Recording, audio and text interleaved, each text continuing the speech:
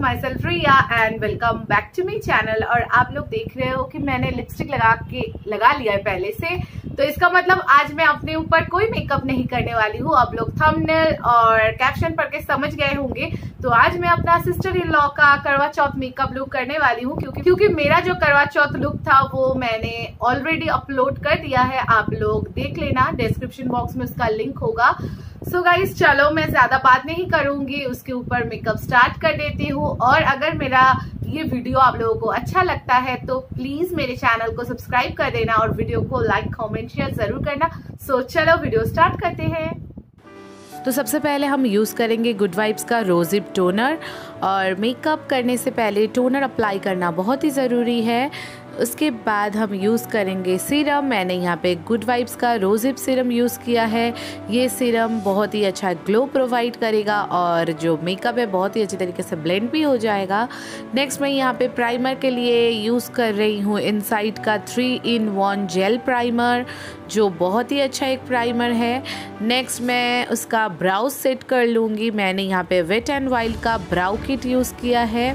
Browse को set करने के लिए और ब्राउज़ के एजेस को क्लीन दिखाने के लिए मैंने यहाँ पे एक फ्लड ब्रश में मेबलिन फिटमी का कंसीलर लेके एजेस पे अप्लाई करके ब्राउज़ को एक अच्छा सा स्ट्रक्चर दे दिया है। उसके बाद मैं उसे अच्छी तरीके से ब्लेंड कर लूँगी।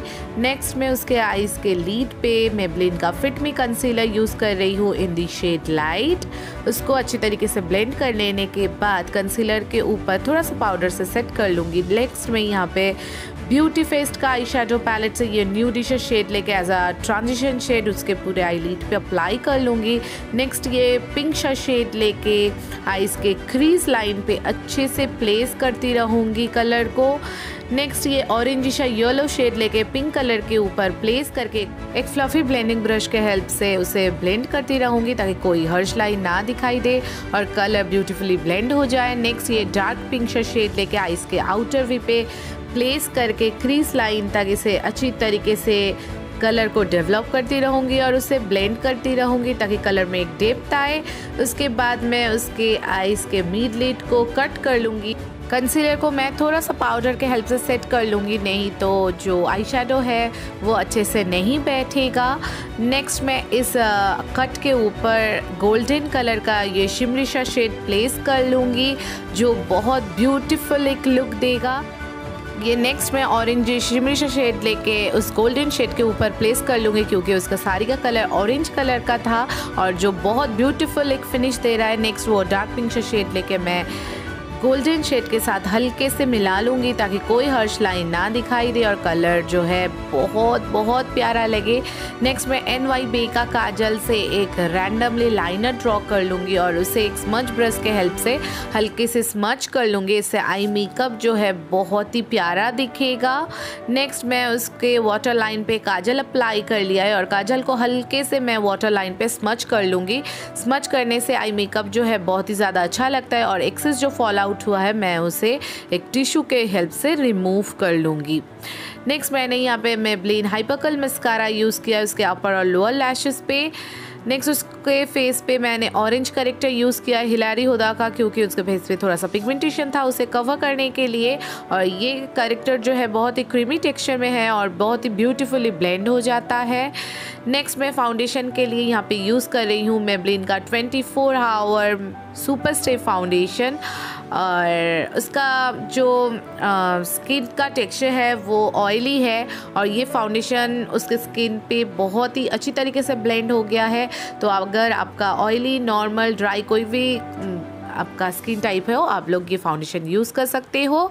उसके बाद मैं यहाँ पे मेबलिन का फिट मी कंसीलर यूज़ कर रही हूँ। उसको फे, उसके फेस को थोड़ा सा हाईलाइट दिखाने के लिए। मैं उसके फेस को हल्का सा कंट्रोल कर लूँगी और मैंने यहाँ पे वेट एंड वाइल्ड का कंट्रोल पैलेट यूज़ किया है। उसके फेस को और जॉ लाइन और नोज़ को कंट्रोल करने के लिए ये जो कंट्रोल पैलेट है, बहुत अमेजिंग और ब्यूटीफुल एक पैलेट है। मुझे बहुत बहुत ज़्यादा पसंद है। आप लोग इसे ज़रूर से ट्राई कर सकते हो एक बार। उसके बाद मैंने यहाँ पे मेबलिन का फिटमी कॉम्पैक्ट से उसके फेस को थोड़ा सा सेट कर लिया है। आ, बेकिंग मैंने नहीं किया है उतना अच्छे से बस हल्का सा ही पाउडर से सेट कर लिया है। उसके बाद मैंने ब्लशर के लिए यहाँ पे यूज़ किया है शुगर का पीची पिंक ब्लश, जो काफ़ी प्यारा एक शेड है और नेचुरल एक ड्यूई फिनिश देता है। मुझे बहुत ज़्यादा पसंद है ये ब्लश। उसके बाद मैं उसके फेस को हाईलाइट करने के लिए यहाँ पे हुदा ब्यूटी का थ्री डी हाईलाइटर पैलेट से एक पिंकिशा हाइलाइटर यूज़ कर रही हूँ और बहुत ज़्यादा हाइलाइटर मैं अप्लाई नहीं करूँगी क्योंकि ये हाइलाइटर जो है बहुत ही पिगमेंटेड है, बहुत ही प्यारा ग्लोई फिनिश देता है। आप लोग देख सकते हो कि कितना ज़्यादा ग्लो कर रहा है थोड़ा सा एप्लीकेशन से ही। उसके बाद मैं यहाँ पे हुदा ब्यूटी का पिंक कलर का एक बुलेट लिपस्टिक यूज़ कर रही हूँ और गाइस ये फ़र्स्ट कॉपी है ओरिजिनल नहीं है। उसके बाद मैं एक पिंक शेड लेके उसके आइज़ के वाटर लाइन में काजल के नीचे प्लेस करके हल्का सा ब्लेंड कर दूँगी। इससे आई मेकअप और भी अच्छा लगेगा। फॉल्स आई के साथ मैंने उसका आई मेकअप लुक को कंप्लीट कर दिया है। और एक छोटा सा पिंक बिंदी और heavy ear so guys this is the final look I hope कि आप लोगों को अच्छा लगा होगा।